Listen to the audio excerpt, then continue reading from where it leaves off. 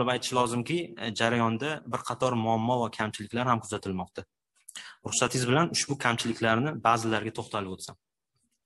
Birinchidan e, bir qator spikerlarimiz jumladan jamshid anvarovich ham e'tirof etgandek xususiylashtirish jarayonini samarali tizimli va aniq talablar asosida amalga oshirilishini ta'minlash va jarayondagi munosabatlarni huquqiy tartibga solish maqsadida qonunchilik bazasini mustahkamlash muhimdir.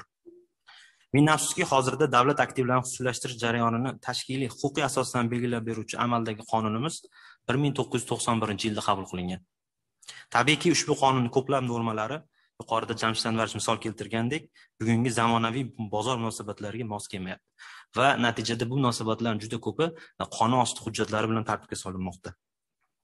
Ma'lumki prezidentimizni ikki ming yigirmanchi yil yigirma yettinchi oktyabrdagi oltmish to'qson oltinchi sonli farmonlarida ham aynan davlat mulkini boshqarish to'g'risidagi va xususiylashtirish to'g'risidagi o'zbekiston respublikasi qonun loyihalarini ishlab chiqish belgilangan.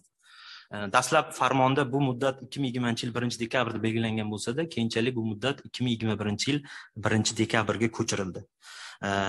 Shu bois e, biz xohlardikki hukumat tomonidan ushbu qonun loyihalarini ishlab chiqishni tezlashtirish va eng muhimi bu loyihani keng jamoatchilik muhokamasidan o'tkazish va oliy majlis qonunchilik palatasiga ko'rib chiqish uchun kiritish lozim.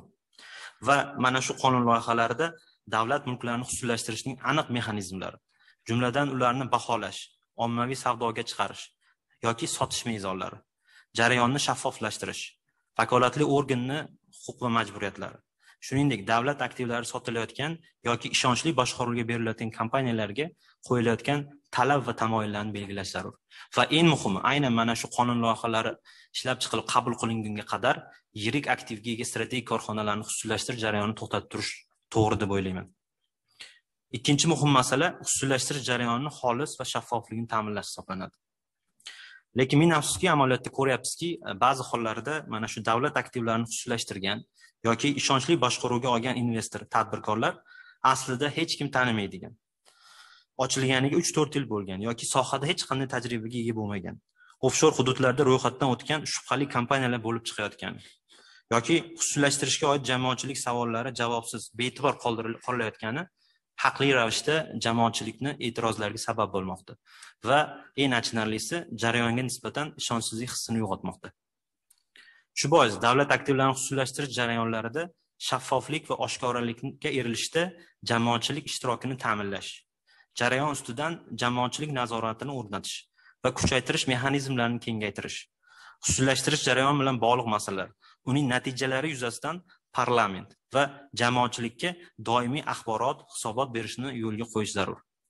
Yana bir taklif bo'lardi. Aynan o'sha davlat rahbarini oltmish to'qson olti sonli farmonida davlat aktivlarini sotish bo'yicha maxsus komissiya belgilangan va mana shu komissiyaga e, jamoatchilik nazoratini kuchaytirish va aholida olib borilayotgan xususiylashtirish jarayonlariga nisbatan ishonch hissini uyg'otish maqsadida jamoatchilik vakillarini qo'shishni taklif qilgan bo'lardim. Uchinchidan mamlakat iqtisodiyotida strategik o'rin tutuvchi hamda yirik aktivlarga ega korxonalarni xususiylashtirish kichik korxonalar va bo'sh turgan binolarni sotishdan tubdan farq qiladi. Chunki bunday korxonalar ortidan e, iqtisodiyotni muhim sektorlari o'n minglab ish o'rinlar taqdiri davlat byudjetiga milliardlab soliq tushumlari yotadi.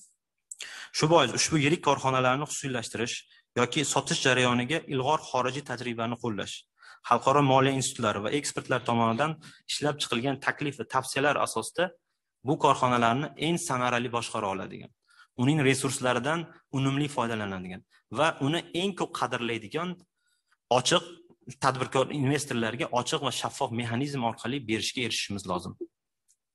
To'rtinchidan xususiylashtirishdan kelib tushadigan mablag'lar masalasi.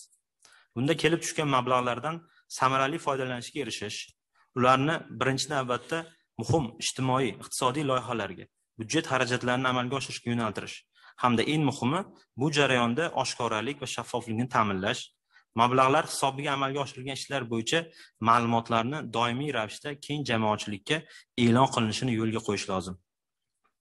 Xulosa o'rnida aytish mumkinki davlat nazorati va egaligi ostida bo'lgan iqtisodiyot bilan iqtisodiy o'sishni taraqqiyotni ta'minlab bo'lmasligini o'zimizni achchiq tajribamizda ko'rdik va hamon ko'rmoqdamiz.